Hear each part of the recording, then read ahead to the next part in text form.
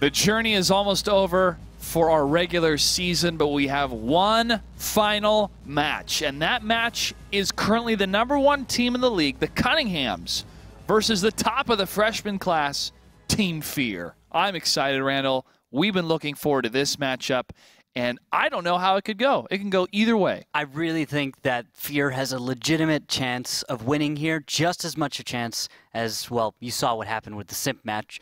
Cunningham's, I don't know, man. I, I don't know. they could will they go the way of Simp, a team that's been here a long time, and then falling to a newcomer? Will they learn from lessons of other teams that have fallen before them in these weeks coming up to this final battle?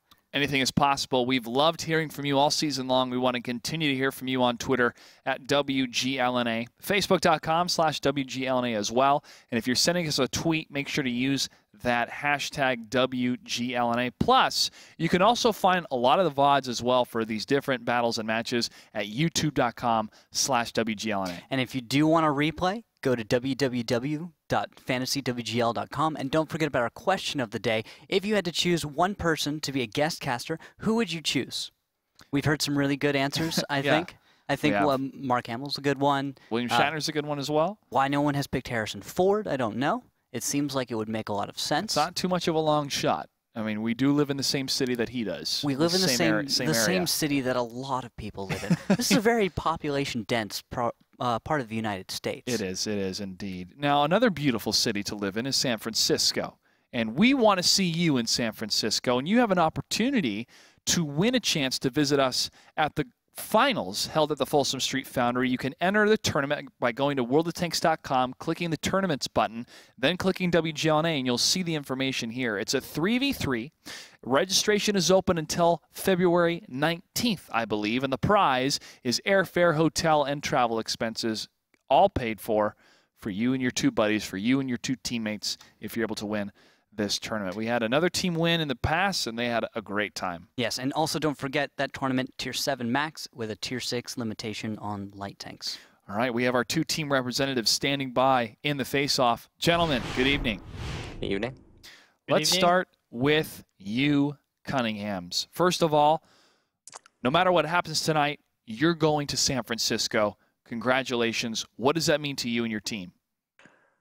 Um, well, we're we're kind of still processing that because we haven't actually played a game yet this week, and we came into the week in second. And now we're in first, so not quite sure how that happened, but um, we're we're happy. We're excited. We're uh first seed. It's the f- It- first is time that, that- happened. So it seems like it's a strange feeling for you. Does or, or do you still feel like conflicted about being in first or something? Well, uh, uh, if we'd beat Simp, we'd feel a little more like, ah, yeah, we're first. Uh, but uh, we didn't, so. Uh, All right, well, you may have that uh, opportunity in San Francisco, but for this matchup tonight against Team Fear, I'm sure you've watched them with great interest so far as you prepared for this match. Uh, yeah, that I'm. I, that's what my minions on my team do, and they just make a little summary for me. Uh, but yeah, no, they they've looked uh like they can make some exciting games, so it should be fun. And you know, uh, maybe we'll join them, and team, you know, if they beat us, we might you know try to get their sponsor too. All right, let's check in with your opponents. We got Team Fear joining us. Fat Crow, you've got to be one happy man for how well your team has done this season. Uh, yeah, pretty decent. There was like a couple of slip ups. Obviously, we had a rough start, um, but we're looking good right now, and it feels great. Now you have the playoffs to look forward to to to fight through another stage before you guys have a chance to make it to San Francisco. Will you turn up the heat in terms of practice time and commitment for this upcoming week, or are you not going to really change anything? You guys are on a, a really good streak right now. Uh, well, we there's always uh, work to do, but we definitely want to put uh, a lot more effort for uh, the playoffs. So we're going to be working on all of that. Any For words? Any words for your opponents tonight, Fat Crow? Uh, just good luck and have fun. All right, very well mannered. Hey, Martin. Mm, just uh, good luck, and um, hope to see you in San Fran. All right, thank you, gentlemen. Good luck. we'll see you on the Canadian battlefield. Thanks. Both guys from Canada, in case you didn't know. A huge shout out to Canada. We have a lot of fans and a lot of players from our allies to the north. Hey, A. Yeah. All right. So Throw- like you throw A on the end of it and it becomes Canadian, right? mostly, mostly. What? How do you make it fully Canadian? I don't know. We'll have to ask our resident Canadian Ken, who works in our office. yeah, but he's like a weird Canadian. okay. Team Fear, top of the freshman class, had a tough tiebreaker loss against I Love Lamp on Tuesday. And Cunningham's, what they meant of they haven't played any matches this week is because timed out forfeited their match against them. Well, this is the last time you're going to have to place bets for the regular season. I'm pretty sure we're going to have betting in the playoffs and the finals as well. But make sure to place your bets at the beginning of every single battle. If you need any help, ask the people in chat. Badco, Earwax, and the other moderators are there standing by to help you out. You can also also go to WGLConnect.com to check to see how well you're doing when it comes to the points because the top point owners have an opportunity to take home a nice little prize. Yes, of course. Now, let's get to right down to it. Cliff will be battle number one. Cliff is a map we don't get to see a lot of.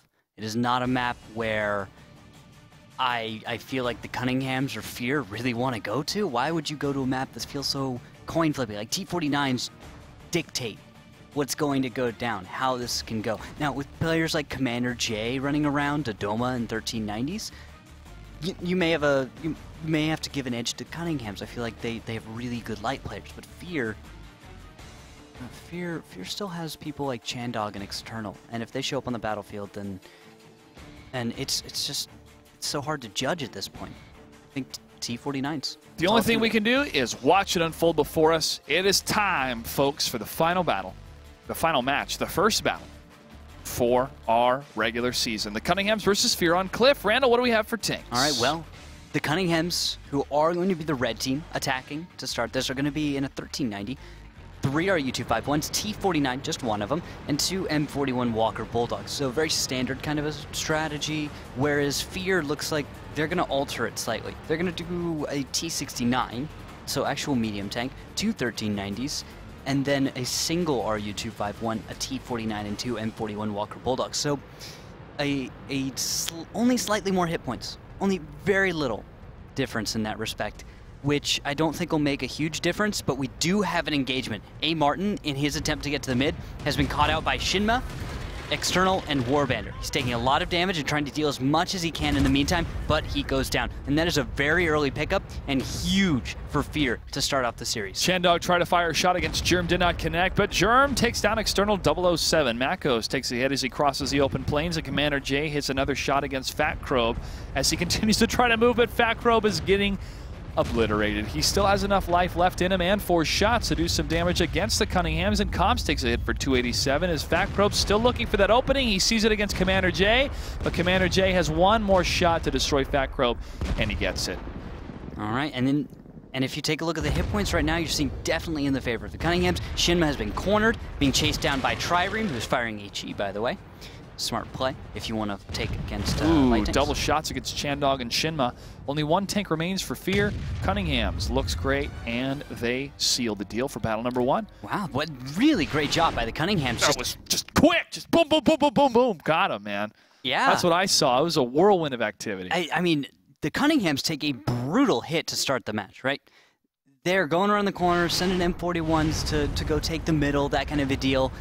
Trireme and A. Martin thinking that they'll be able to make it there, probably not going to run into anything. But it turns out that Fear tries to start this one off by catching those tanks out. But they may have thrown too many resources in that direction, and because of that, the Cunninghams are able to dominate in the middle of the map. They easily overmatch.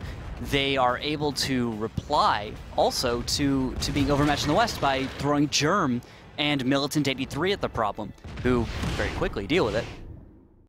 It it it was a good recovery. I have to give Very it to the. Cunninghams. They I didn't expect them to be able to do that. I thought Fear's attack or the surprise of catching those tanks out would be enough to the point where it would go a little one-sided. They gave him the slip. They gave him the slip, and it Yep. totally worked. But now Fear is going to be very uh, cognizant and be able to recognize that perhaps in battle number two as we're getting ready here. Uh, the T49 shots, I mean, especially with the almost internal battle between those little tanks on top of the lighthouse that we'll see, or at least the the placement of tanks are trying to fight over that spot. Sometimes it dictates what's happening in the rest of the battle, and sometimes these tankers completely ignore that section of the map. Yeah, it's sometimes it, yeah, you're right. It never comes into play about maybe like 25% of the time. You'll, you won't see a tank over there. Yeah. It'll all happen in the middle or something. But by the way, before we get into the next battle, Elevate Noble, I believe it's at a 2-0 in favor of Elevate right now. So we'll keep you update on those scores. All right, battle number two between Cunningham's and Fear. Cunningham's is up one to zero. Randall, what do we have for tanks? Well, looks like we've got a 1390, three RUs, T49, and two M41s for the Cunningham, same strat. On the other side, Fear's actually bringing a heavier lineup. Pershing T69, 1390, RU251, T49, two M41s. So instead of having two 1390s like last time, they're going to just change that to a Pershing. So I don't know what Fear's trying to solve with this. What they're trying to accomplish by, by changing that up. Now, they will s- alter their opening strategy. We've got Warbender alone going to the far side of the map. A Martin and Trireme playing a safer, more conservative opening than a Martin is covering where Warbender currently is and allows Trireme to safely get All into the high ground. Here's Fosta Kid. And that high ground will be in control of the Cunninghams. Oh, until Dodoma takes a shot for 325 from behind. And, oh, and another one for 247. Yeah, Chandog from way across the map has been able to get some connections, but he does take some damage himself. Dodoma able to get some spotting, Militant 83 as well. And now Dodoma's optics are repaired. He can uh, continue spotting as he would like. However, I should remind everyone that all pro players play with perfect accounts. And what I mean by that is their crews have every unlocked skill, meaning that they have. Fosta Kid hit for 234. Yeah. They, they can choose any equipment. They have all all the perks, all the crew skills unlocked for all their crew members. Exactly. So they're they're playing at the top premium, the top tanks. And, and it's really the only way to guarantee that everyone's on that even footing. Yes. and it and it gives these guys more tools to work with. You can do some amazing things with a 1390 with a perfect crew. You can do some amazing things with a T49, but these guys still are able to do that on on their normal accounts, and you see that all the time. You can see that in their their, their records. There's nothing that can replace player skill. Yes. And even though those perfect crews and per- perfect tanks can heighten and amplify or work together with that skill, I mean, in the end, it has to come down to tactics and making your shots count, It's usually what does it. opening those windows. Four minutes and 50 seconds. A. Martin's hit from a distance at 147. Fear is showing a little bit of uh, of their teeth here in this matchup, but Dodoma is still in a safe place, and that's really the only recognizable advantage that the Cunninghams has. He's got a slightly higher position, which is nice for him. Comps being on the high ground is great. If they can continue using him to deal damage, it's phenomenal. Fosta Kid takes a big hit for 355. All right, Comp's lining up for one more onto external, although it looks like he's not able to find a connecting shell. And what is he? He's looking back to the east. For a moment, I thought there would be a tank. Apparently not. Still trying to measure up and find those tanks. Fear is defending, so it's up to Cunningham's to break through this. And we're seeing some movement from Militant and A. Martin over on the one line. Yeah, they're they're heading up, trying to find some tanks to put a crossfire on.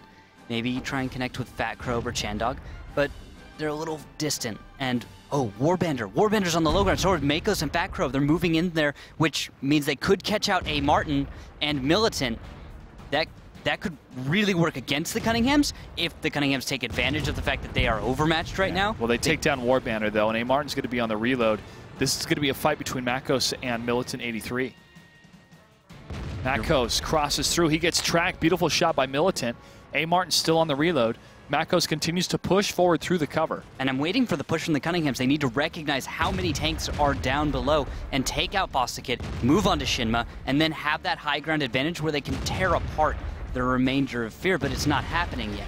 They're Big shot from Fat Crow, though, against Militant 83. He barely gets behind cover, and Trireme's going to try to push in to do a little bit of damage. A. Martin guards against Makos, and now a significant damage is being done against Fear, but the rest of the Cunninghams are still taking a while to clean up the other side of the map and then move against. They've just moved. They just now realized exactly what the situation they're in. And Commander J is moving forward. They're moving on to Shinma. Germ from the other side. He doesn't really have an escape. Commander J unfortunately misses a, shell. He could have done well to connect, but on the move 1390, I'll give it to him. Yeah. Now, Who takes out Shinma? Exactly.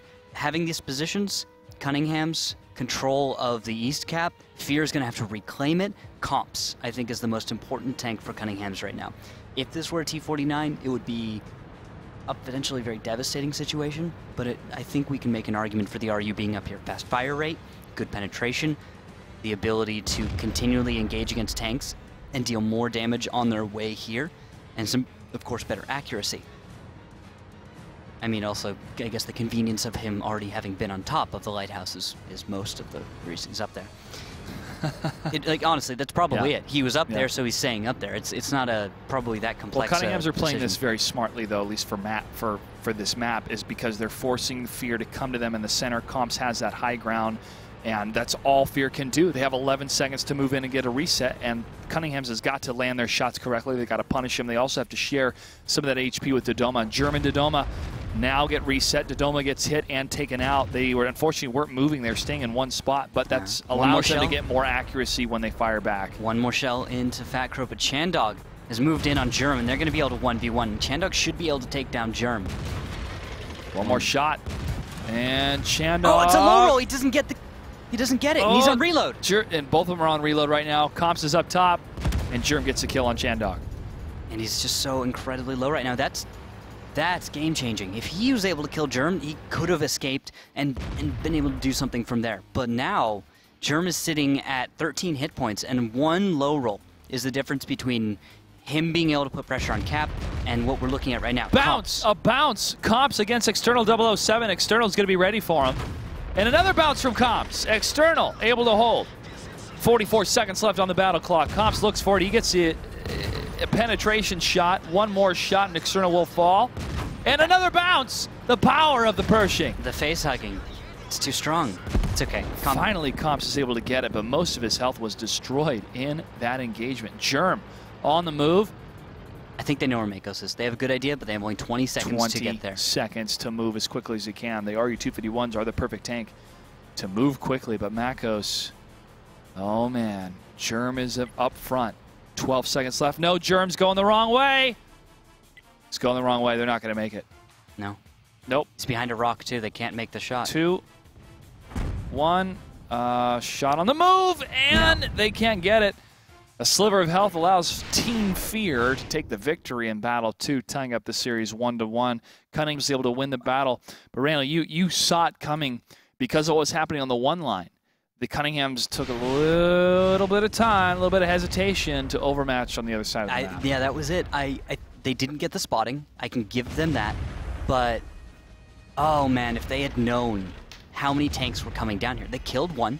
Then they meet Well, they- two. they see all then, four. That only now, only just at three minutes and ten seconds do they realize what's going on. Then they move, and it takes only a few moments for them to realize this. But they lacked all of that information. I think that we had. I didn't see spotting indicators, and it's frustrating, isn't it, to to see the lack of pressure coming from the north onto the tanks of the cliff, and then to watch Cunningham start to figure it out. And it always takes that little bit longer because it's not it's it's tanks not It's- firing at yeah, you you as to- opposed to a situation where you've actually discovered them. you have to have a preemptive, almost instinctual feeling to make that call, but it does happen. It doesn't happen often where you start moving in, you go, oh, they're, they're coming towards us because we spot one other tank moving towards us. And that's where you have to kind of take the risk Yeah. and make the call of go, push the other side. And then if you're right, great, awesome. If you're wrong, crap. But it's that type of instinctual call that you have to make as a caller, as a commander. I mean, it's I I don't think if I were in that situation, I would have made a better call all Sure. that much sooner. sure. So and again, and, and I'm not have, trying to say that I'm we have- better or anything, but a complete bird's eye view Mhm. of all this stuff too. We're going to see information and be able to process information faster than the tankers on the ground. This is the nature of us as the commentators having the viewpoint that we do. But even then, you have to have a tactical awareness, a situational awareness of what's happening on the battlefield to be able to make those calls in a split-second decision. I mean, most it is players not easy. Yeah, most players can barely track more than f- like four or five objects going on, but then these guys are having to track far more than that. What's going on their entire team, all of the enemy, and what's happening on the battlefield. All right, battle number three in a tied-up series of the Cunninghams versus Fear on Cliff. What do we have for tanks? Well, we have a 1390, three RU-251s, T-49, and two M41s for the Cunninghams. Red team on defense. Fear, two 1390s, two RU-251s, T-49, two M41 Walker Bulldogs. So it's it's a very standard one. Slight variation in more burst for Fear, but more consistent fire for the Cunninghams. So it shouldn't even out to, to much of, of anything, really. I don't expect there to be huge advantages based on tank choices. I think it'll be a, a mid game where you see both teams meeting in the mid. T-49s are going to blow stuff up, and it's whoever has the better blow up stuff T-49. Right? sure. Oh, comps. That comps might sense. blow. Comps. Oh, hit for 233. He hits Fat Crobe as well. And Warbander's going to get in the mix. Oh, He's but going to absorb some Warband- shots, though. A lot of damage. 782. One more good shell should finish him. And Comps is down. Fostakid gets a hit. He poked out and he falls back away from Germ. Commander J is at a half health. Cunninghams are starting to be peeled apart here by Fear, but they have to continue the momentum against Trireme and the rest of these tanks as the Cunninghams are looking for openings. Militant is one of them. And Dodoma is loaded. He's ready. He's looking for a shot. If he can find someone, I think can wipe someone off the battlefield very quickly. Commander that could J is about one shot fantastic. away. Although Chandog is a is a serious threat and needs to be dealt with. Dodoma can't afford to take a shell to the back of the turret from Chandog. That's a good chance of an ammo rack, really. Although if he can get a free shell out without Chandog returning, it would be fine. Although A. Martin, other side of the map, finishes off Meadowhawk. And that's going to be the west side going to the Cunninghams and a lot of control with that. Also control uh, tempo-wise. They can dictate a lot to Fear, who's going to have to change things up in order to try and stay relevant or try or get back into that position where they dictate and force the Cunninghams to react. Well, Fear may be taking a page out of I Love Lamps book here as we see three tanks heading towards the east side. Dodoma looks for Chandog. In the meantime, although we have a lot of spotting occurring at the same time, Warbanders on reload, Fat Croak, they're all very low, and Dodoma could very easily remove any of these tanks from the battlefield with the exception of Chandog, which is a really tough problem for Dodoma to try to solve because he doesn't have the ability to bring in much support. Everyone else is going to have to deal with, well, this this hit, this attack force. Fosta Kid's in trouble. He's taking a lot of shots coming from the Cunninghams, and he goes down. Trireme gets the kill. External misses a shot against Trireme as he pushed forward, but with the amount of hit point damage the RU-251 can do, he'll take down Trireme, but he'll he will pay for it, and he gets the kill. Here comes Militant 83 though at full health. Chandog takes down Dodoma. And Fear is now pushing across the center section. External is still in trouble. Militant takes a nice shot coming from Makos. Ah, External roll. lives. Can he get another shot on Militant as Makos is moving up to get the kill on External, or on Militant 83, excuse me. He gets one shot and a second shot from External, and they take him down. One tank remains for the Cunninghams. Four remain for Fear. And is their captain. Fear's going to clean it up. Oh, Chandog. This is cruel. Oof. A little bit of overkill, but I like it coming from Chandog, and now Team Fear leads the series two to one against the Cunninghams. that that deep strike that they pulled out, just out of nowhere, just says, "Let's take three tanks that are reasonably healthy, send them into the backfield, see what they can do." Fostakid, gotta give him credit for taking out Commander J. Commander J is very low, easy target, but it's also very easy as a player to not notice that he is the easiest target and that you reasonably can get the kill. And that's something else, you know, closer or maybe to the southwest on backside of the lighthouse isn't something you would want to go for instead. Good target, target uh, acquisition, prioritization, and of course making the shot count. So I give him credit a lot in that attack, taking down a crucial tank. Behind that, Dodoma not getting a, a huge kill because in this battle he does 441 damage. The whole purpose of a T49, as we know, is just wipe a tank off the battlefield.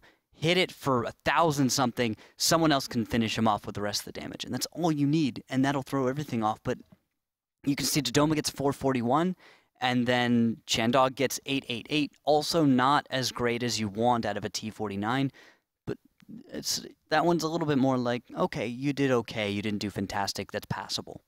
Yeah. Yeah. It's passable. Passable. As we move into battle number four, the final battle for Cliff, Fear is up And if they're able to get another back uh, victory here, they will take quite a significant lead moving into Prokhorovka, where they will be on the defense. Cunningham's will be on the attack. What do we have for tanks, Randall? All right, for tanks, we have a 1390, three RU-251s, T-49, two M41 Walker Bulldogs for the Cunningham. So the same lineup they brought last battle. And then Fear will do the same thing they did last battle as well with the two 1390s, two RU-251s, T-49, and the M41 Walker Bulldogs. So it's it's all about the execution. You can tell the Cunninghams know they could have won. They could have dealt with what Fear threw at them. But it was their fault. They're, I think they're accepting that and they're willing to go on and make the same lineup, just do it better. They had some nice things go for them too. A Martin in the West getting early pickups, kills. That should have been the kind of move that the Cunninghams can come off of and win. But Fear is able to prove that it even down a tank, you can do plenty of work. Now, this opening move, Dodoma's going to go to the middle, which I worry because he's oh, taken. Oh, yeah! External 007, 619. Beautiful from around the corner. Fired back from Chandog. Dodoma can't get the shot. That is why I was afraid for him. That is exactly it. And that hurts. that hurts a lot. Oh, well, external says shaken, not stirred as he pulls away from that shot. Chandog's going to push forward for 473. The power of the T49 is strong with Team Fear. And they're going to push up against the weakened Cunninghams and get behind Militant 83 and around Commander J.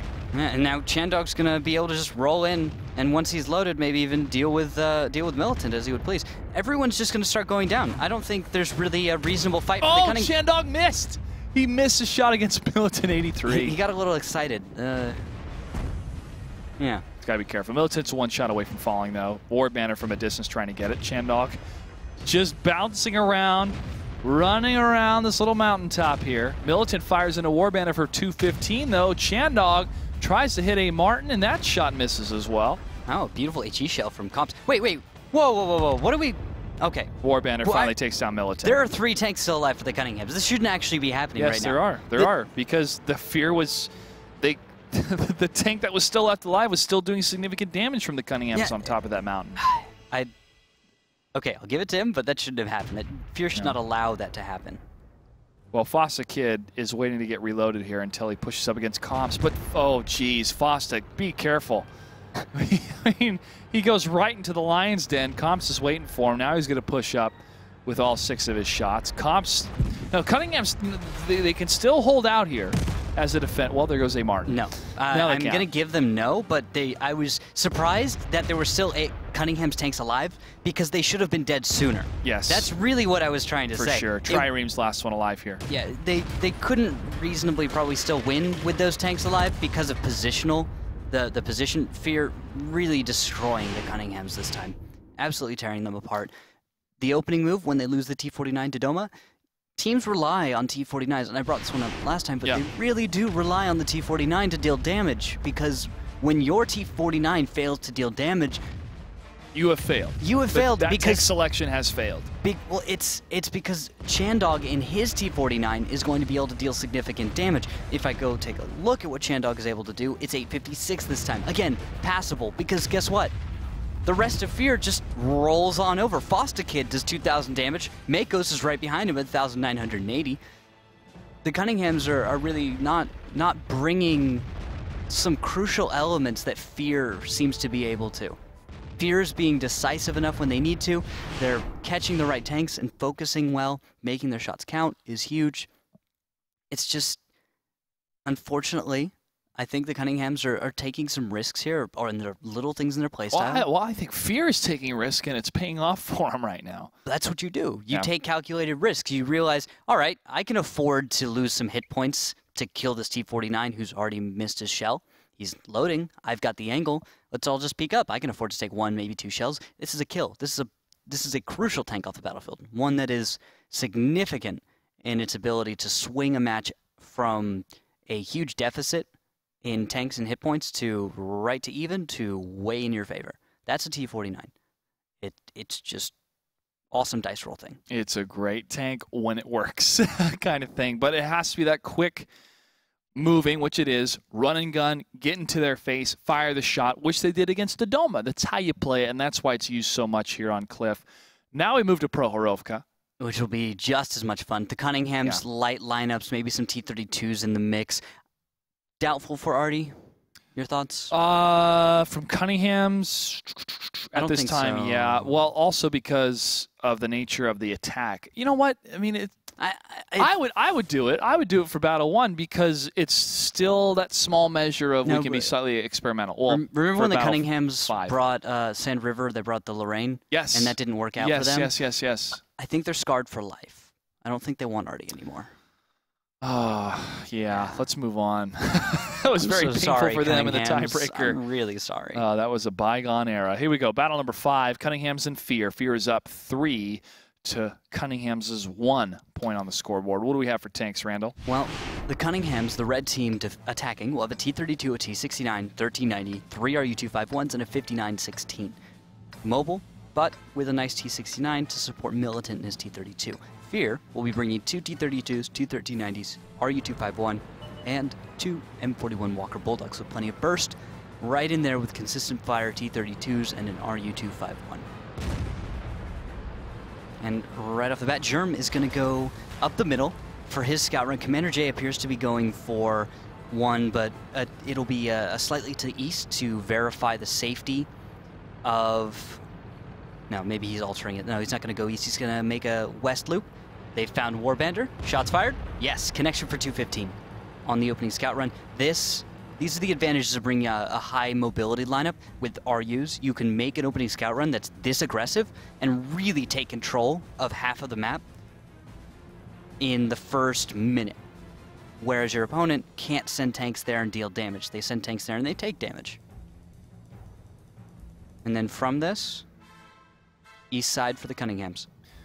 And we see North placement coming from Team Fear with Makos, Fostakid, and Chandog. And as the defenders, they will sit and wait for the Cunninghams to make their opening move, and they're going to do so, it looks like, on that eastern side on that flag cap, which is smart because the majority of Team Fear on the opposite side of the map. Ah, look at this. Meadowhawk firing into tanks. Comps. Into comps. He's getting one connection, but no more yet. Ah, there it is. Second one into comps for one. But now Meadowhawk is going to start taking damage. He's spotted. 229. Commander J makes a connection. And Meadowhawk actually, he, he stays. He's not spotted for now. I think that's actually blind fire that's hitting him. He's got three shells left to get those resets, but he's waiting for the rest of Team Fear to move up. Fear is going to have to get a reset, and well, no, tanks are leaving the flag cap now as they're moving to engage upon Team Fear coming up towards them. They're going to overmatch that south group. They want to get it down. After that, I think back off and take maybe the west side of the map. They've got they've realized that that Meadowhawk is over there. This is a bad idea. They can't succeed at cap at all. Yeah, this is just not going to work. Now, Commander J, that's odd that he's not being dealt with very much. As Makos, Fostakid, and Warbender were, were pulled away. They are going to take him down, but how is that going to help the fight in the south? Chandog getting unloaded upon in that 1390. He needs to stay alive to get those three shots out, but Comp stops him. Militant 83 and Comps have taken significant damage, and Fostakid, beautiful shot right over the hull of Fat Crow, and they take down Militant 83. That's three tanks down for the Cunninghams, only one for Fear. Now, Fear has lost significant hit points for these T-32s, but look at Germ and Trireme taking hits from these T-32s as they move back. These four tanks from the Cunninghams are huddled together. Makos, Fostakid, and the rest of, of Team Fear should be heading down to the south to help these two T-32s. I mean, they, they should, but they've already done enough helping. I mean, damage dealt, Well, now 311, they're moving. Meadowhawk, 503. Fostakid was on the reload, makes sense. Fostakid's an 874 so far, and Mako's 879. Significant damage. Not a huge, overwhelming amount, but they were supporting that fight the entire time. They couldn't. They just didn't want to move. They didn't want to have a moment when they couldn't have a perfectly aimed shot. Well, Dodoma gets hit from a distance, and now Team Fear has great map control on the eastern side. Uh, but Germ and A. Martin. This is a part where I think we could see the Cunninghams try and bring something back. Meadowhawk Warbender moving to the south. If A. Martin had not just peeked over, we could have seen Meadowhawk go up and over, and then a trap sprung. But Oh, Meadowhawk moved just in time to dodge the shot coming from either Trireme or Dodoma. Yeah, the Cunninghams Nice tried to. play. A. Martin tried to find out what was going on. Unfortunately, I think it would have done him more, more good if if Meadowhawk had gone up and over without knowing that they were there, because it would have been just such a great trap where he's not expecting to have to back up. Great shot again coming from the north side from, from Fear, from Meadowhawk and Warbanner's position. And as now Dodoma is moving in though. So tanks in the north, Makos external could be engaged upon by Dodoma alone, I think. Oh, but a bounce from external. If they can take down that T-32, that's fantastic for the Cunninghams. I think they can bring this one back if they can accomplish just that, but they are having trouble getting Here that. comes Foster little Kid. thing. He's getting the up and over. He takes a little bit of a hit, and he gets the kill. A. Martin's going to try to push in to get a couple shots, but Meadowhawk and Fostakid are ready for him. That's two tanks down, even more for the Cunninghams. And a nice shot from Foster Look at that long range against Trireme. Yeah, and, and now 1390. It, it's over this Oh, point. another one, 253. The moment he peeks up, he walked right into it. And now Dodoma, Trireme, it's it's only really a matter of time. This is a point where the Cunninghams have to try and think about what they're going to do next battle and not focus nearly as much right now on, on the present battle because it's over. Fear takes it as the defenders. They have one more battle to go until they are able to defeat Cunningham's the number one team in our standings right now. This is big for Team Fear. They could do it against Simp. They could do it against Cunningham's. They could do it against anybody as they move on to the playoffs, Yeah, no matter what happens at the end of this Yeah, this series. this validates everything for them. Yeah. Beating the Cunninghams because Simp is already established as was established as a top team. Right now they're seeing the struggle, but teams like Fear and I Love Land defeating them, but then also moving on to defeat a team like the Cunninghams. It's it's not a fluke.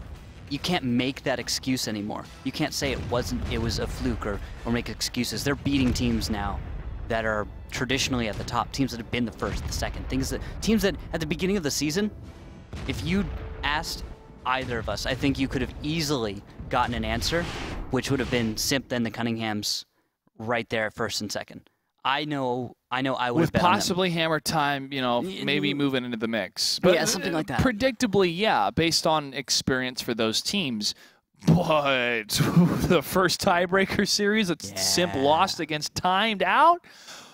uh, I mean, uh, what was going through our minds at the time was what is happening? This is not correct. And uh, we don't mean that Timed Out didn't deserve it, but just the the impact of what was happening and then the continual downfall of Simp right now. it's, it's because they stood at like the highest point of any team. It's not an yeah. upset where and it's timed out was at the lowest point. Yes. the lowest point of all our teams at the time. But now we've got teams like Fear who who for some reason it took them until after some about mid-season to where we would really notice their performance. But these teams are, are replacing teams like Simp and, and teams like Cunningham's and really showing them that wow, we are impressive. Battle number six. Fear is one point away from taking the series as we still continue the fight on Prokhorovka. What do we have for tanks, real quickly, Randall? All right, with T32, T69, 1390, two RU251s, two M41 Walker Bulldogs for the Cunninghams on their attack run. Two T32s, two 1390s, RU251, two M41 Walker Bulldogs for Fear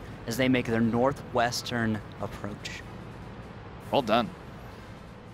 And we see that north side again, covered by Fear as they wait for the Cunninghams to come to them. Warbanner's taking significant hits, though. Warbanner, get out of there. He's okay. He, he gets into the defilade, hides behind the T32s. Pay attention to Fat Crow and to Warbander and their approach. They go west, then they go north. Most teams to counter out T32s will be looking along the five line. This is an, unna- uh, a, an un- uncommon approach. And so External and Fat Crow don't get discovered because in order for them to be engaged upon, the opponent has to come into the enemy's side of the map. Like way into the enemy's side of the map. You have to cross the Echo, you have to cross into Echo 3 in order to get sh- clean shots onto those T-32s. So I like the way Fear is using their T-32s and the way they go about taking the middle without taking a lot of damage. It's it's a it's a good variation upon a, a theme that's been established to work on this map. And now we do have a little bit of play though. The Cunninghams appear to be trying to get something from Fat Crobe and from external. Just one good shell here or there, something is, is what they're searching for. And they are getting one connection, 314 into external. Oh, Chandog takes a hit for 251. Commander J is hit as well. And Team Fear has sent their northern tanks over into the north side of the train tracks as the firefighting continues and Chandog's the first tank to go down. I don't know what's going on right there. Now, A. Martin is on fire, does not have the fire extinguisher, but firefighting skill. And what was that? Chandog just goes right down the 2 I 3 have line. no idea why Chandog even did that as a defender from Team Fear. Doesn't make sense to me. Um, Militant hit from long range. did he hit R three times and forget? Maybe. Mm. There's no reason. It's It's it's. No reason to be playing this. Uh, I mean, you're sitting there on your win over the way. Cunninghams. You're about to do a 5-1 win, and just, man, you lose a little focus. No, never do that ever. You'll you'll you will regret it for the rest of your life. And there goes external. Militant gets that kill. It's two tanks down for fear as they're starting to crumble. All right, the Cunninghams are starting to see success. The, yeah, and, you're, and this is Fear not making the plays that we're used to them making. This is them kind of throwing away a tank, not knowing the information that they need to know. And then on top of that, now they've got T-32s that I assumed were going to be in the right position, not.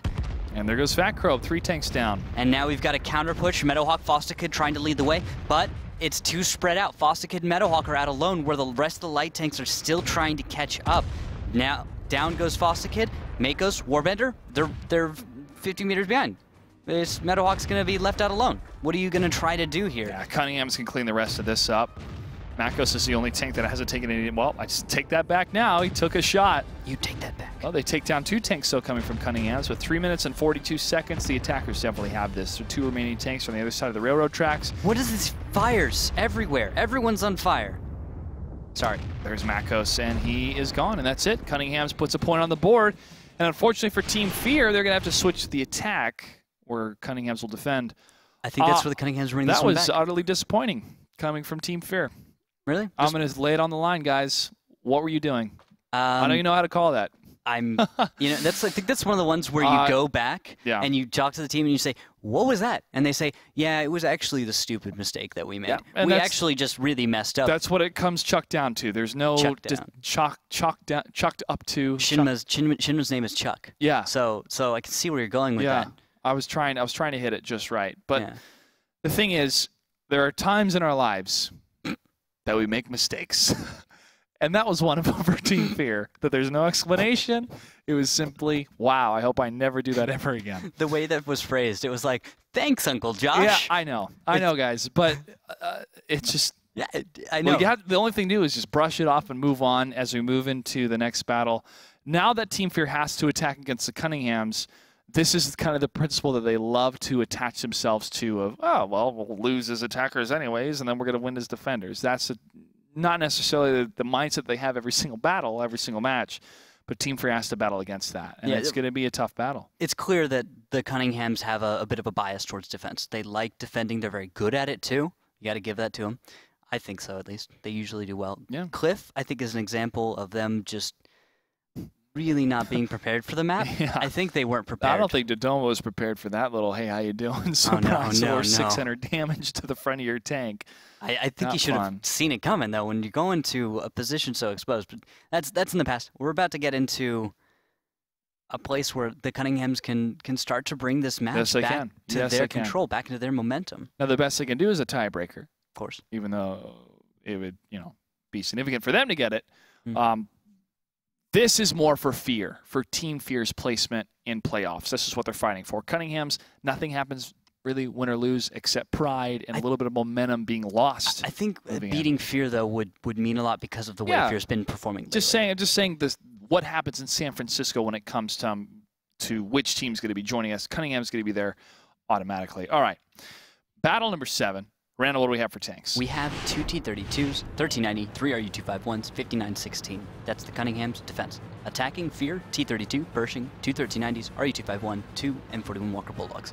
So, the opening move, Cunningham's, well, I believe everyone can see it very clearly, which is forward is the best direction. Even a Martin's going up and over to the middle. This is very much like the the simple tanker strategy we've seen before, what timed out pulled against Simp, for example. A lot of teams have adopted this strategy as a way to take control very early on and also to safely get your T-32s to the middle because militant and comps, if you hide behind them, militant and comps get torn apart from range and you can't guarantee your your your shots are going to hit at 500 meters. RNG, uh, just the fact that your shells drop.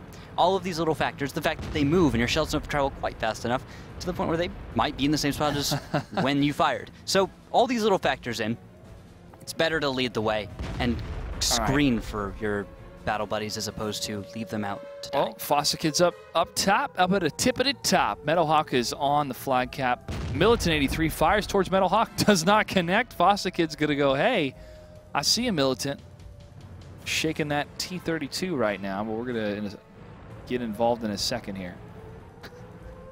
He's just shaking back and forth. Nice little He's just shaking it off. track damage. Is that, is that what we're No, going he, he was just he was ba- you know dancing kind of back and forth. Nice little hit coming from Fostakid. Fat Grove's gonna move up. I'm trying to see where that pen. Did that hit the shot trap? No, I think it was a maybe a track pen. Oh, here going comes Fat track. Grove. Ah, okay. Now T32 versus Pershing. And I think Fat Crow has a better angle. I think Militant's on a bit more of a, Yeah, a steeper, steeper, slope. steeper climb. Yeah, so so it's a little more annoying for him to deal with this situation, but he doesn't have to worry about arty, so he could uh, approach this from from perhaps straight on. But with the overmatch that's getting ready to happen here from Fear, uh, Militant might go down very quickly. But notice that uh, Commander J is on the approach. We have Dodoma very close by. Yeah, he, and Dodoma's ready for it as well. He's ready for that up and over on the north. They're they're very well prepared. And then wait, is that even they even have conflict in the back here? So Cunningham's have very deep coverage right now. They're prepared for the up and over. They're prepared to support multiple angles. Conflict can help both Comps and other members of his team. I like that also Comps is getting good connections onto members of Fear. He's hit Meadowhawk, got hits on the Chandog, and there, Meadowhawk's even down. It's great for the Cunninghams. They've lost minimal health. Only the T-32s, the guys that are meant to, have lost them, and that's going to be the cue for Fear to start the fight. Militant 83 is going to be the target from Chandog and Fat Crow, Fossa and Makos. Fostakid misses a shot. Makos is hit again for 377. A couple missed shots on both sides here. Militant 83 is going to continue to get hit, and Makos is down, but so is Militant 83 for the trade. Two tanks down for Team Fear as Comps continues to get hit, and Chandog down for Fear. And now, on the reload, Dodoma's going to have to back off, which allows him to be some uh, an easy target, takes a few shells for other people, and now Fat Crow will be the focus as Commander J actually ignores him for Fostakid. Fossa Kid's on the reload. He can't engage against Commander J. Commander J misses a shot. Fostakid says thanks as he's moving down to the south. Bit of an overmatch against A. Martin in that south side from external. And Warbander, and Warbander misses a shot against A. Martin. Ah, takes a hit.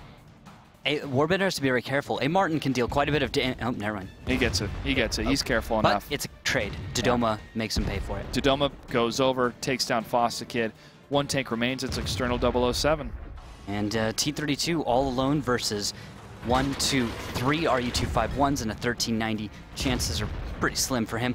So Fear is now starting to lose a lot of that momentum. I'm not feeling that their attacks are, are working out for them right now. No, Cunningham seem to have. Tilted right now. They Yeah. are so tilted. Really? You think they're on oh tilt? yeah. Oh yeah. Team Fear right now. Hmm. I mean, the crappy setup. I'm sorry guys, but the crappy setup on the flag cap. I mean, if you're gonna go for the flag cap, make the Cunninghams come to you and watch the approaches coming from the railroad you tracks. can't you can't cap in the east. It doesn't work anymore. Too many teams know the angles underneath the trains. You, you can't do that. but you can set up to counter those angles. Is I, I feel that they didn't know exactly what to do. No, it's it's not going to work. Uh, Cunninghams can easily defend it. It's they're too good for you to be able to work it. And external goes down. All right, Team Fear, you're still in the lead. You're still in this fight.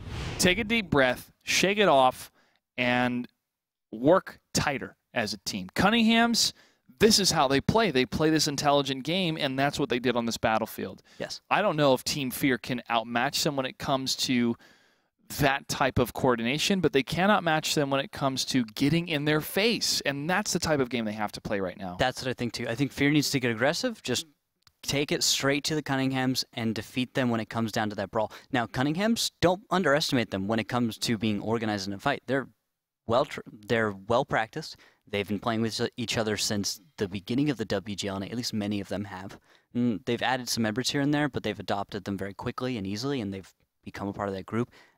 I think the Cunninghams don't underestimate them if you're going to bring it straight to them, but that seems, and I agree to, to be the best strategy to bring. You just don't play around with these cap pressure things. Yeah. Play around with just catching them off guard in transition. Fake something. Just pull something a little sneakier than that. The more traditional strategies we're seeing, where you just put a tank on cap, they're not going to work. You just saw it fail. I don't. I don't think they should try it again. I think there's risk you're taking in this, but is it not worth it to close this out with a very clean win for three points? The worth, the worth obviously is pride, Uh, uh of course, but three good points that put Yeah. you good standings, better seating. but the worth is also recognizing what works and quoting Liebestad, learning from your win, and say, hey, this worked against the Cunninghams, who are mm-hmm. technically the number one team in the league. It can work in other instances as well if we adapt it correctly for the scenario. Hmm. Battle number eight. Potential for a tiebreaker if Cunningham's wins. If not, Team Fear will close the series. Randall, what do we have for tanks? All right, we have two T-32s, a 1390, three RU-251s, and a 5916 for the Cunninghams. They're on defense in red. Fear, blue. T-32 Pershing, two 1390s, RU-251, and two M41 Walker Bulldogs. And again, the Cunninghams open with all of their light tanks to the middle, and they're going to screen for their heavies to move up. In the meantime, Fear does not match this. They don't bring the same force to the middle. They'll send Makos. And I'm worried for him because Makos is in an RU-251 and he's about to make a loop. Hopefully, he doesn't go up and over. Good. He actually uses the terrain. There's a bit of an extra hill on the south side in about Foxtrot 5. That spot allows you to kind of approach the, the middle of the map and keep some kind of cover. Now, Commander J Ooh, is couple starting... shots. Long range from Warbandor and Meadowhawk. They are punishing Commander J. This is exactly the kind of strategy we've seen from a lot of other teams as well. Fear understands that there needs to be a crossfire in the middle. There's two rocks. They represent too much cover. You can put tanks behind them, especially if you camp directly south and try and support, or if you pick left, uh, west or east and only do one of those to cover the approach. Fat Crobe's now pushing towards the north side in his tank. Smackos had peeled back, and now we're seeing movement coming from Team Fear heading over to the west. Fat Crobe will continue to be in that spot as externals get to catch up. And so this turns into the potential game of external covering. The tank's moving closer to the north, but look at the Cunninghams defending that section so well. And then you have Militant 83 and his battle buddy in the center section of the railroad tracks. Okay, so the way this is going to play out, I think, you see how Fear is moving up the 1-2 line right now. We saw this kind of earlier with, uh, I think, Hammer Time Simple Tankers, was it? Where an attack up the one line, passive scout, a Martin in this situation, is going to spot a few tanks, and then we've got a firing line. Meadowhawk leading the charge for this assault group of Team Fear, slowly moving up, trying to find those tanks that will potentially be in the north. Uh, did Dodo's even getting in a better position for this? They're, they're prepared. A Martin, though, is spotted. Oh, A. Martin hits Oh. for 316. What happened there? He got himself spotted. And uh, he just barely stuck out of the bush. Wrong time for that. Now, he is going to be stuck behind a small hill. The enemy can simply approach and probably take him Whoa, out. whoa, whoa! Fostakid. He's in a slight defilade, a slight low ground, which is going to make firing and hitting his tank actually a little bit difficult because you can really only see his turret and you hope the shell kind of drops into his tank as opposed to just flies up and over like most have thus far. Well, Kid is able to dodge three shots in a row, all really close together. Well, it's it's not dodge. It's it's maybe dip or or maybe duck. or maybe but duck, it's it's yeah. not a dive. so, so it's only those two. I think in this situation, if we want to really classify it. Okay, shots fired towards Fostakid. He's going to melt. 855. He has three shots left in his 1390. Not a big trade coming from that tank. They knew he was in that section. They already fired towards him. But Meadowhawk's going to fire towards Conflict. And these Oh. M41 Bulldogs Actually, are not to be messed with. If Martin takes fire, and External could take him out. If they do, that will remove that scout from the side of the map and give Fear the ability to take the west, and then from there push the Cunninghams out of position. It's fantastic for Fear if they can get the kill on A Martin without n- losing a tank. And there is blind fire coming in at A Martin. No, wait, he is spotted.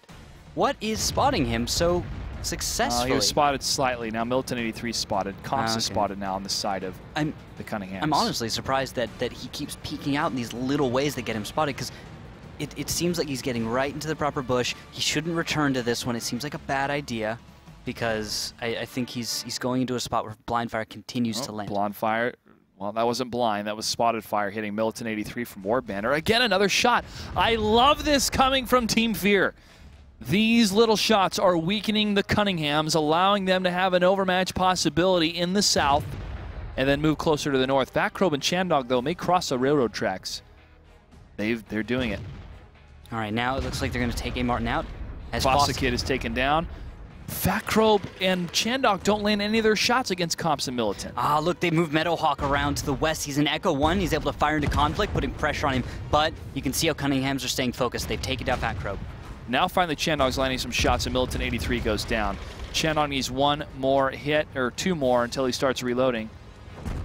And he takes another long shot from Conflict. Comps tries to line up a shot against him, but he gets behind cover in time. One tank down for the Cunninghams, two tanks down for Team Fear, and now the Cunninghams have the advantage. And they're going to press it. They're sending Dodoma Germ right up the 6-7 line, east side of the tracks. That's going to keep them from being spotted right until the moment where they're going to meet those members of Fear. This surprise attack should give them a little bit of extra time, one extra shell in there, and that could give them victory. But it looks like they're going to turn back with Germ and Dodoma. They know that there's too many tanks there or something. And only a minute and 46 seconds Wait. left. The Cunninghams have the advantage when it comes to time. trap. Warbanner's starting to push forward. He's going to get destroyed by the Cunninghams. Makos and Chandog trying to fire from a distance to to have that tank mean something. But with three tanks, four tanks remaining here against the six still on the battlefield for the Cunninghams, they're going to push up and clean this up. We're going to go to a tiebreaker. Yeah, this is a good comeback from the Cunninghams. You can see how they just they really got the motivation back. It you can feel that they're just playing it that much better. There, Dodoma comes in, finishing off a few tanks, gets a second one even. Now he has to reload. Two tanks remain. External Meadowhawk. Comps takes a hit for 221. And then Conflict will be, I guess, sent to go take down Meadowhawk. But Comps uh, can't take much more than this. And Militant takes a hit to the front. But that shot does bounce. It's all a matter of time, 50 seconds. So, Randall, I really liked how these M41 Bulldogs were getting these long range shots and significantly reducing these hit points of these tanks. They just couldn't finish out a lot of those no, kills. they couldn't. They couldn't. Uh, Cunningham's did a good job of, of spreading out the hit points. And when two tanks um, were into the center of the railroad tracks, they continued to fire into the T-32s, and they had missed or bounced at least three shots. And one of their T, uh, Pershing got destroyed because of it. Yeah. And so that trade for two tanks to nothing is was the downfall of Team Fear in that battle. And now we go to a tiebreaker, and uh, the tiebreaker will be on Cliff once again between these two teams. You know, you did talk about Meadowhawk, 2,195 damage in this battle, three kills as well, picking up the only kills. And here's the, here's the here's the moment I'm talking about. Fat Crow moves in. He doesn't even do any damage. He gets annihilated in a matter of about 15 seconds. And then Chandog starts to put shots into Militant 83, but he's going to continue to take fire. There is no positive trade at all for Team Fear in that scenario. All right, well, right now, Cunningham's choose defense on our tiebreaker, which is going to be Cliff. And so, uh, we're we're heading back to Cliff. We're going back to Cliff. Going back now, to Cliff. I, I, again, I don't mean to harp too harshly on Team Fear, but this is a team that's going to be playing through the playoffs, a team that is possibly going to San Francisco. Yes. And if you have these type of mistakes that happen, it's the same thing as when Pete Carroll decided to pass instead of run the ball. Don't bring Seattle it up. Hey, look, dude, that's painful. Don't bring up those kinds of memories. You're not supposed to But you have to learn. You have to learn from those events. You have to learn from those scenarios. And hopefully, Team Fear will take this as a if you're in a position, four to one victory, do not send one of your tanks to scout halfway through the map if you can hang back and defend. I know it's a tough call sometimes, but it's those type of calculated risk and understanding of what's at stake. You cannot allow the temptation for those mistakes to happen. Look, just like Pete Carroll in that whole situation, Yeah. what we're running into maybe, and what I suspect that both of them share is that it's the end of the game, and they're getting exhausted. Yes. They're losing their It's the end of the day. They're starting to slip up, and guess what? They they're starting to make some pretty questionable we are calls. all human in the end. Exactly. And with that, I will accept the get off my high horse Yeah. scenario. I Yes. apologize, All right, everybody. I so apologize. timeout, by the way, was called by Fear. What better time to use it than right towards the end when you need to catch a breath because you've just gone on a three battle losing streak, and uh, it's it'll be just a minute. You know, we'll see if we can uh, if Fear's going to be able to come out of this timeout refreshed, a little healthier, a little bit less crazy strategies. Yeah. Well, I mean, T49 making a reappearance here, definitely. Of We're course. totally in favor of Team Fear, and, and They still have the chance. Attack or defense, not that much of a difference compared to other maps Yes. uh, on Cliff. So, so you know, hope is still kindled for that team. I mean, we could see two T49s. I We mean, that's, we could see 100% more T49s than we usually see. And that, that could be the secret weapon of fear. But it could also be the secret weapon of the Cunninghams. I don't know what. I think that someone's going to bring something a little different. I don't think standard strategies are going to work here. Maybe they do. Maybe that's what we see. We see a standard battle, and I'm There's wrong. one guarantee right now, Randall. What? And that is this is the last battle Look, of the regular season I for season five. Fear's pulling something crazy. That's I my call. man. want to see. I want to see something crazy coming from Team Fear. Battle number nine, tiebreaker. The Cunninghams versus Fear. What do we have for tanks? All right, we've got a 1393 RU251s, T49 and two M41 Walker Bulldogs. Dodoma will be playing the T49 for the Cunninghams on defense.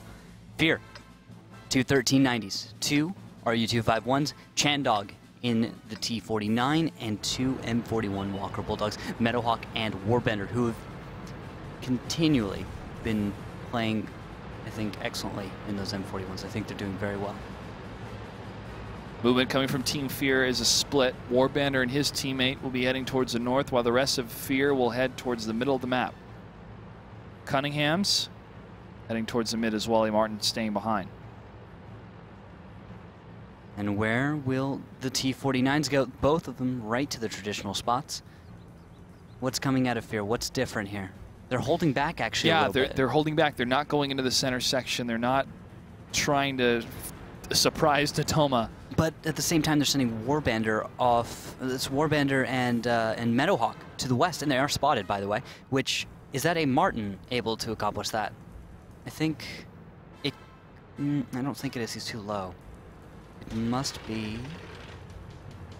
I've returned to a Martin. Can't tell who that must be.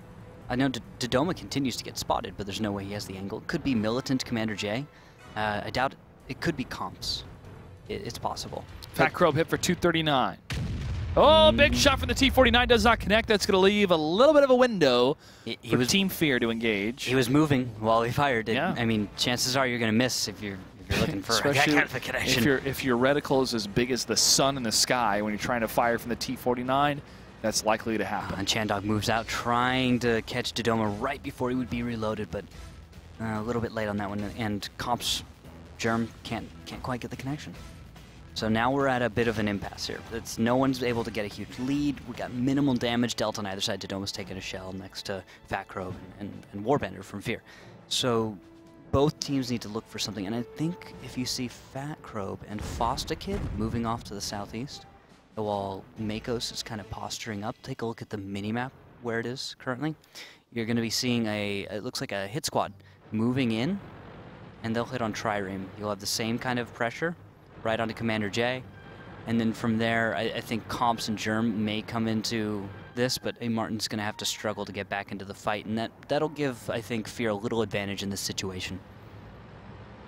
Fostakid and Fat Crow slowly moving up on the east side, looking for that opening. Trireme's the target they're looking for. He's meant to be here to spot this and warn the rest of his team about it. Fat Crow, Chandog are spotted, and that's an indication that'll pull a Martin, giving him a little bit extra time to get back with the rest of the team. But the trigger is pulled, externals moving, Meadowhawk, Warbender all moving. From the west, you have a huge group trying to take Dodoma out before he can engage on Chandog, but he moves forward, avoiding this, so he can just stay on that fight. In the meantime, what's happening in the northeast? Trireme is being contested with uh, on Fat Crow and Fostakid, but they can't get the kill yet. They're taking a while to take him down. Fat Crow finally gets the kill, but Germ's going to move in, and Fat Crow misses a shot against Germ. Fostakid can't get it. Well, he gets one shot against Germ, and he bounces a shot from Comps. However, he has only one shell left, and he misses. And now Fostakid is going to have to move as quickly as he can to get away from Comps, but he's fallen back into the mountain, and Comps has him pinned. Comps is not going to let Fostakid move from this area. He gets another clean shot into Fostakid, and Comps will take this victory. In the meantime, Dodoma was able to pick up a kill, leaving, and Chandog was not able to get a one shot against Dodoma. Now the two of them square off. A Martin, miraculously alive, Dodoma gets the reload before Chandog and finishes him off. This is huge for the Cunninghams. Makos, last tank left alive for Team Fear. The Cunninghams displaying one of the biggest comebacks we have seen in the WGLNA Season 5. Still on the run. Germ gets a nice shot. Commander J is plowing into Makos, and that's it. The Cunninghams win 5 to 4 in the tiebreaker, and that does it for the regular season, ladies and gentlemen, for Season 5. Well done by the Cunninghams. They locked it in, and they got the momentum they needed to get the victory. Exactly. Right at the beginning of the series, they pick up a win, right? From then on, four losses in a row. They can't string one together on Cliff. They just can't. Fear gets momentum, they roll with it. It seems like something that, that really works for them. The moment they can get some momentum, they, they, they look so much better and they continue with it. Maybe a loss here or there won't hurt them, but after two losses in a row, it fear started to feel much less potent. And I think that, as you suspected, Josh, it may have come down to going on tilt, not being able to I could see it. I could focus. see it. I And it- could see it in their movements. I could see it in their shot patterns. This- They were broke. Like they, I mean- they were broken, and I- so that is a really tough place to be as a team Mm-hmm. because now you have to focus energy on okay, how do we get out of this rut? How do we get out of this situation? I think that it may not have been up to that level. I feel that the effect can be that drastic. Well, not it, it's not that broken. It's you're tired, you're losing focus. Your guys have gotten a little overconfident Mm-hmm. at one point and misjudged. You know, when you when you win a few times and you feel like Sure, you're invincible, sure. and then you walk into another M- game and you maybe think, maybe the adjective I should use is that they were cracked, not necessarily broken, but something was something shifted that was not allowing them to play as we've seen them play before. a little fatigued, maybe. I, I- who isn't fatigued after eight weeks of playing World of Tanks? I mean, I totally I pretty good. yeah I totally can empathize with them, Mhm. and honestly, I'm kind of glad this happened because it allows that to be exhausted from their system. Hopefully, as they fight their way through the playoffs and through to the finals, if they can make it that far. Uh, a loss being exhausted through the system or acting in that way as a team before going into the playoffs. Acting that way as a team. You're right. Actually, that's great. Yeah. You're, you bring up a great valid point, which is before you're into that point where you, if, when you lose, you're done. You can afford a loss here. You can afford to sit there, listen to the way you guys were on comms, listen to the way you guys worked as a team, and be like, wow, we made a lot of mistakes. And we can recognize and identify what led to those mistakes, and then, of course, bring about change with that. Many teams have trouble with that, and that's that's a big problem because it's it's a huge interpersonal issue, kind of a thing. It's teamwork and and all of these really delicate things that some some of us kind of struggle with as gamers.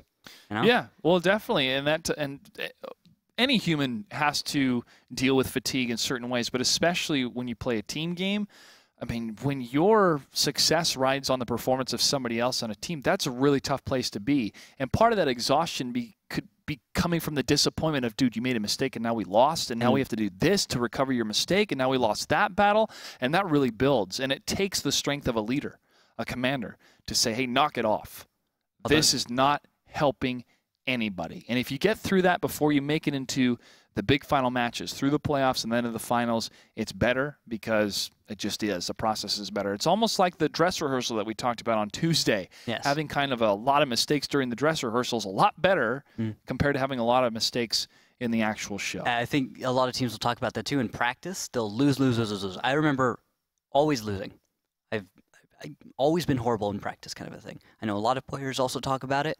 Uh, I know Simp has had done that in the past, kind of thing, where they just don't win in practice. They don't seem really dangerous or something, but then they'd show up in a in a in a regular match, a season match, and it would be brutal. They'd be efficient. They'd be right on target, and it was something about practicing and, and continually losing where you learn exactly all where you work out all of the weaknesses you have you get to find every little weak point every little thing that's going to set a player off or every little thing that's going to set your team on tilt and you and you identify those and you get rid of them you deal with the fact Definitely. you build healthy habits Definitely. And I'm I'm glad that both these teams put their hearts into this matchup because in the end, as we said before, what matters the most is Team Fear's placement in seeding for playoffs. Cunningham's win lose tiebreaker, electrical storm, whatever, if they're still going to San Francisco. electrical storm I mean if if a bunch of their players lost power and they couldn't play anymore. i mean if a lot of their players like what if like all of canada lost power it gets cold up there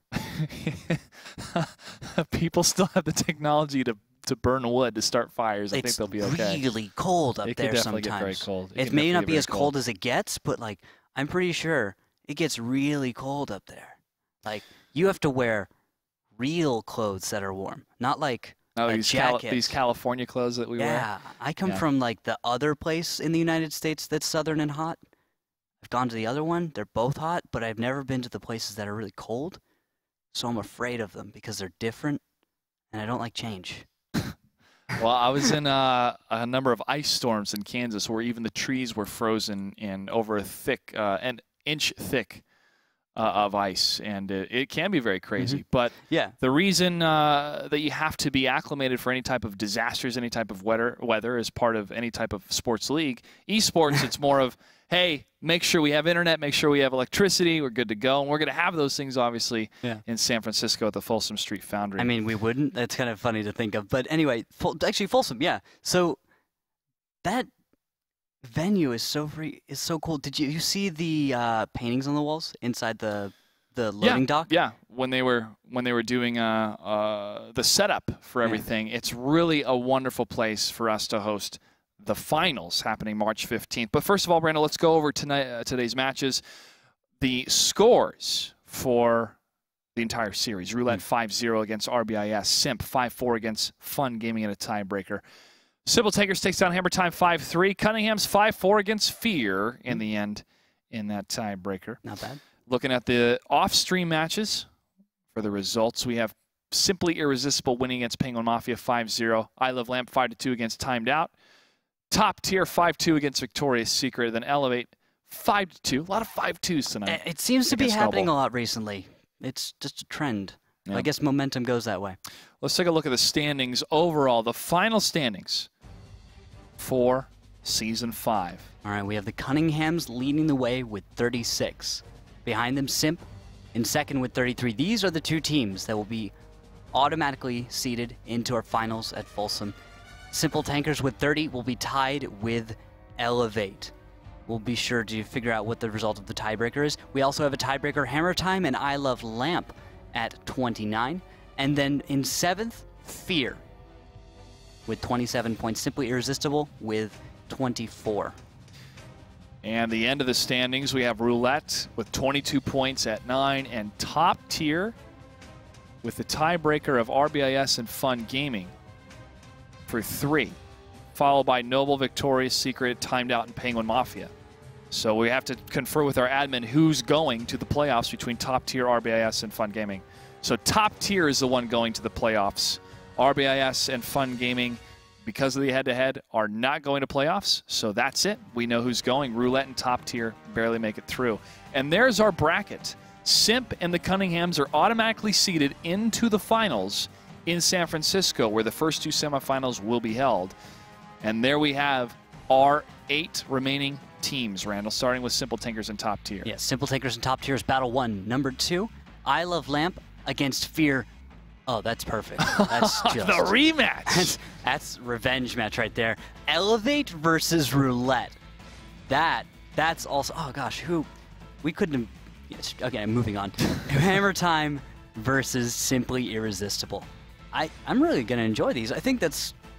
It's nice. Uh, the top tier, Simple Tankers, is something where I feel like top tier is going to get a chance to really redeem themselves. Yeah, and those matches will be happening live on Tuesday night. 4:45 will be our pregame show. Five o'clock we'll start the first match, and then after that we'll go into the Tuesday matches, which will be two matches to determine who will be the two teams joining Cunningham's and Simp. And there you have it. Simple Tinkers and Top Tier will start the night, followed by I Love Lamp and Fear, Elevate Roulette, Hammer Time versus Simply Irresistible. It's the best of the best from season five in North America. Yeah, and we've got a matchup with Elevate, I Love Lamp, that kind of a thing. Two teams that I was I was almost expecting would somehow find a seeding that would get them both to Folsom, but yeah, I'm I'm I'm ready for It's this. either I- one or the other, single elimination.